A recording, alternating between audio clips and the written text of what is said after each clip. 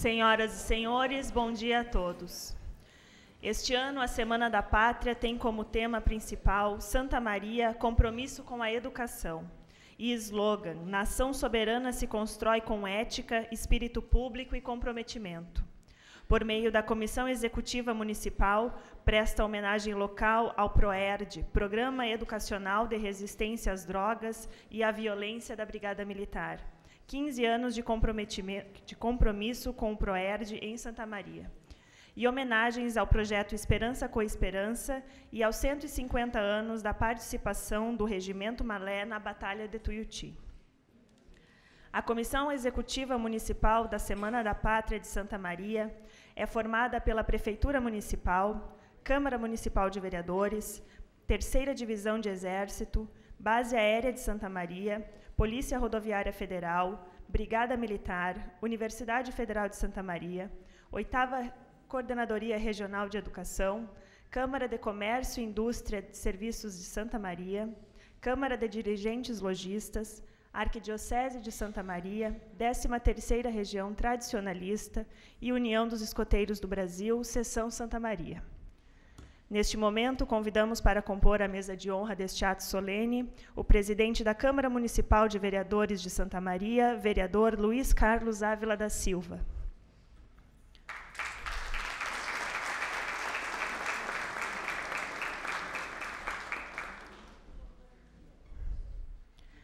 General Marcos Antônio Amaro dos Santos, comandante da Terceira Divisão de Exército, Divisão Encouraçada.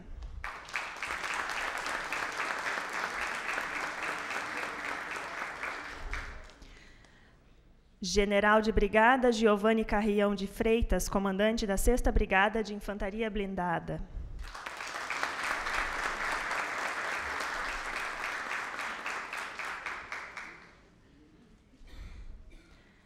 Tenente Coronel Gedeon Pinto da Silva, chefe do Estado-Maior do CRPO Central, representando o comandante.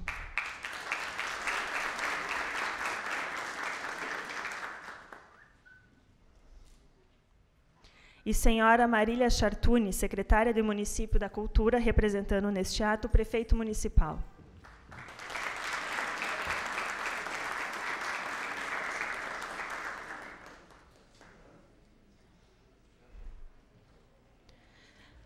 Registramos ainda a presença do Coronel Vitor, comandante do Colégio Militar de Santa Maria, Coronel Frederico Guido Bieri, comandante da Reserva Encouraçada, demais comandantes, dos, das organizações militares aqui presentes ou representadas, uh, senhor Elisandro Machado, representando o 4 Batalhão de Bombeiros Militar, senhora Rosa Maria Pinto Guidolin, representando o arcebispo Dom Hélio e o projeto Esperança com Esperança, secretária Silvana Guerino, da Secretaria de Município de Educação, senhor Flori Padilha, secretário interino de Mobilidade Urbana, senhora Jussara Finamor, representando a oitava Coordenadoria Regional de Educação, professores e alunos da escola EMAI, e a senhora Janete do Carmo, representando o Lions Clube Medianeira.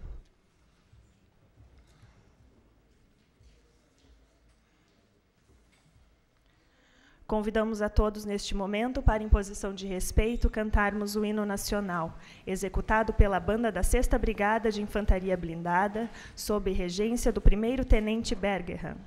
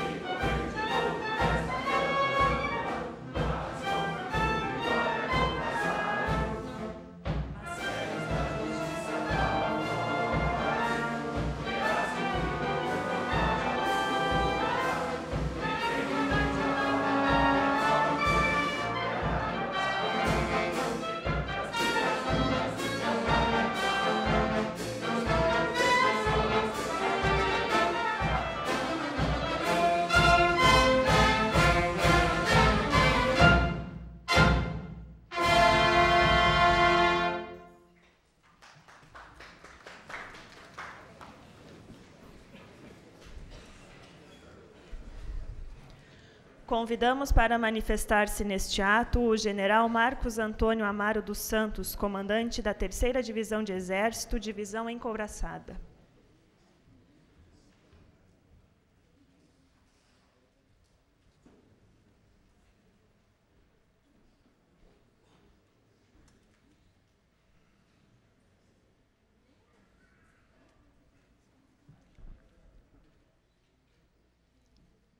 Excelentíssimo senhor vereador Luiz Carlos, presidente da Câmara Municipal de Santa Maria, no qual, por meio do qual eu cumprimento a todos os presentes.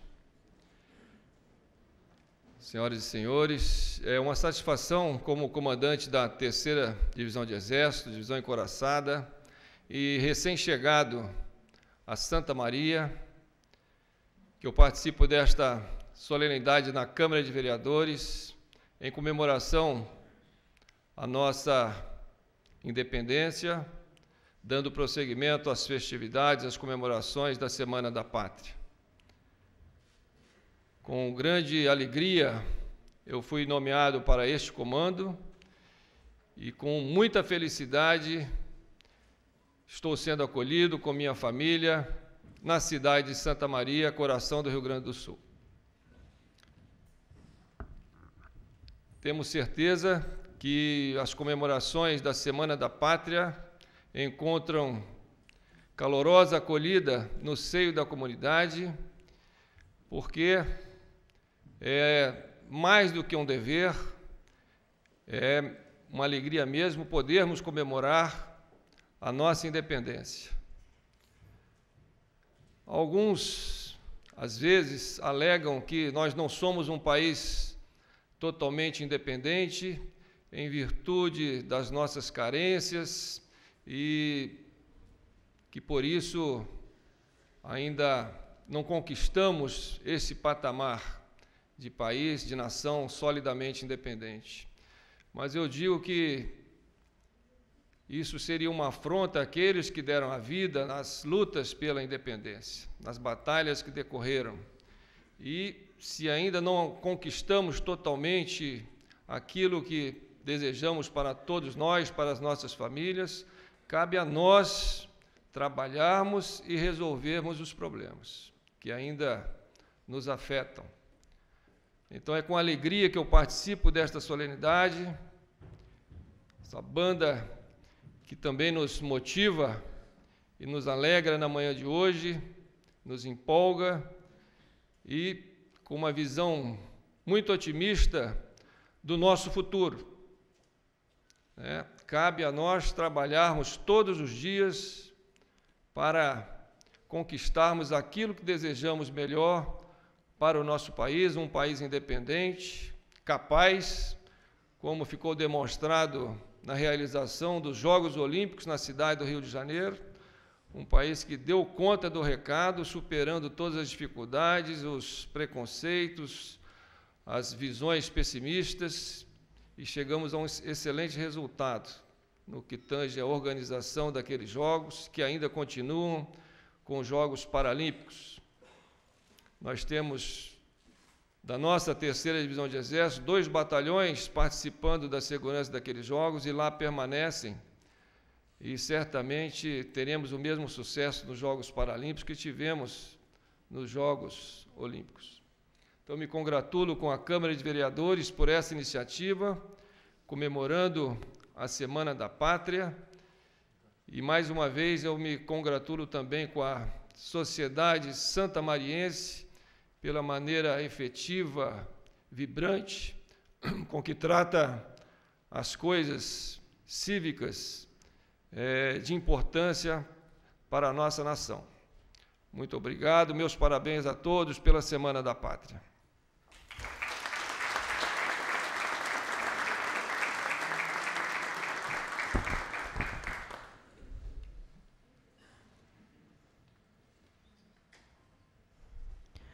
Com a palavra, o excelentíssimo senhor presidente da Câmara Municipal de Vereadores, vereador Luiz Carlos Ávila da Silva.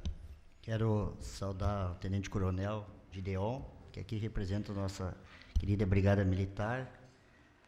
Saudar secretária Marília, que aqui representa o prefeito, saudar nosso amigo general Carrion, nos honra muito com a sua presença nessa manhã.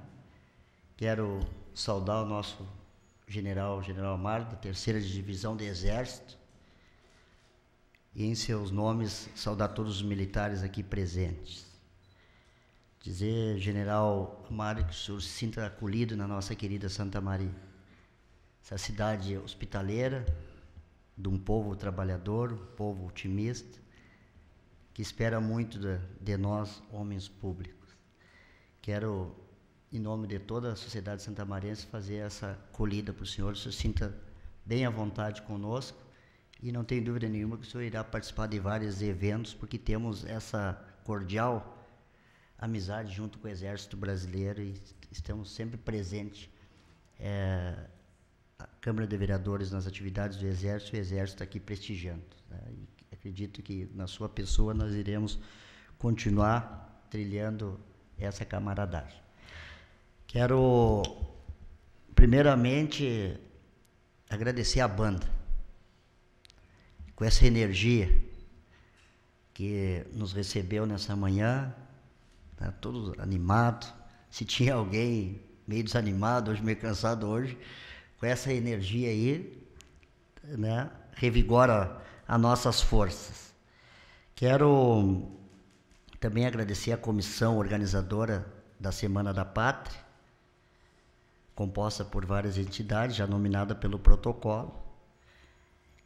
Quero dizer que nessa abertura da Semana da Pátria, no Poder Legislativo, nós reverenciamos nossos heróis que tanto lutaram pela independência do Brasil.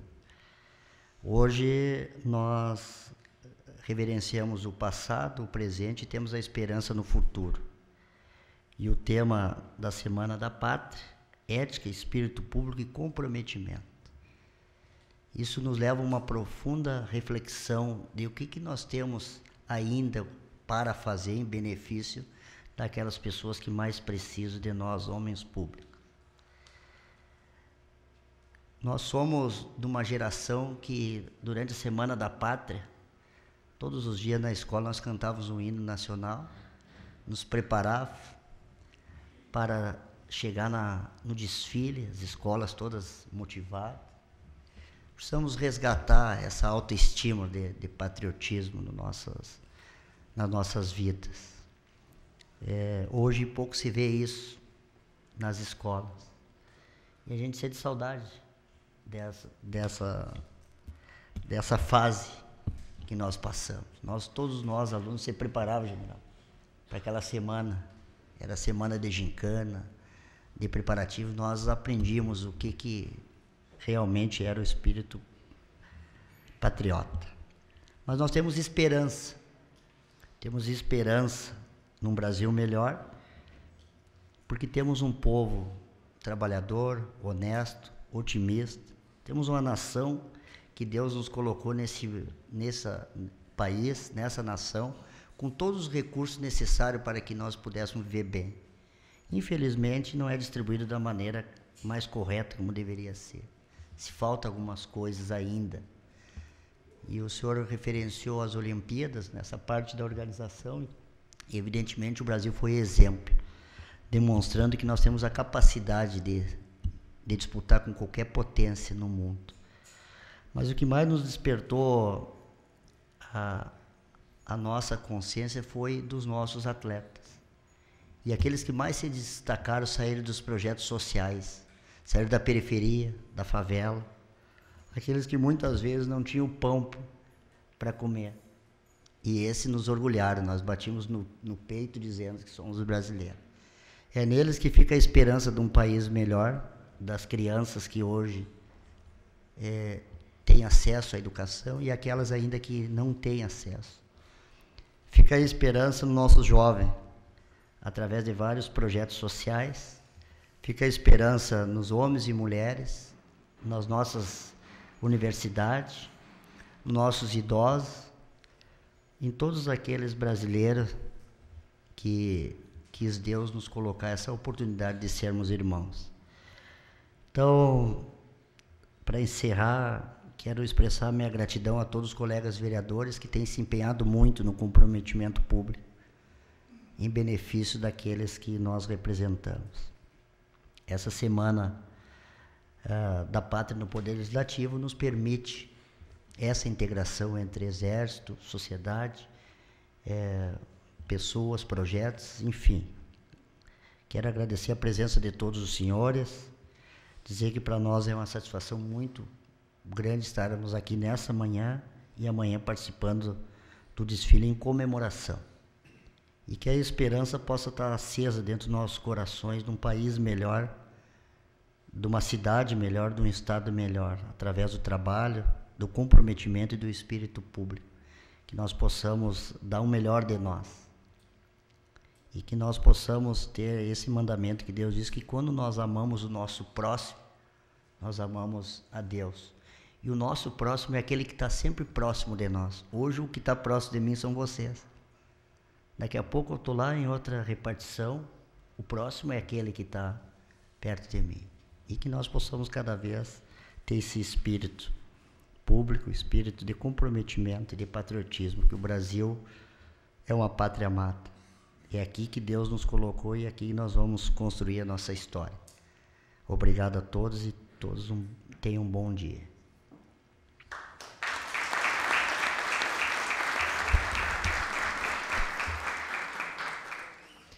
Dando continuidade, convidamos os presentes para cantarmos o hino da independência e, na sequência, o hino rio-grandense, ambos executados pela banda da 6 Brigada de Infantaria Blindada.